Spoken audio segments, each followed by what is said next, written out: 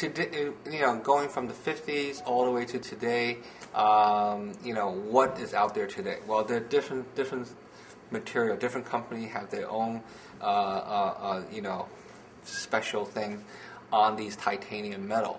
Uh, making the titanium more adaptable to the bone.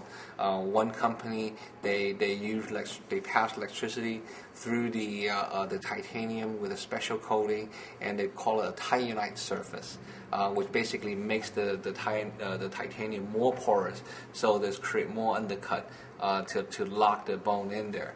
Another company, what they did is they make sure that the the, the titanium doesn't oxidize, so the titanium is placed in you know, uh, uh, basically special liquid uh, until the time that you take it out and place it in the mouth. So the so the metals never is allowed to oxidize. So the bone is able to attach to titanium right away without waiting to uh, to you know remove that oxidated layer, which takes a few weeks to do so. So it's to make the bonding faster and smoother and harder. Um, and think about these hundreds of uh, little BBs that has been bonded together and then which creates a lot of different undercuts and surf in, and increase in the surface area. And what that does, it basically allow the bone to grow through and into these little special holes and to lock the implants in.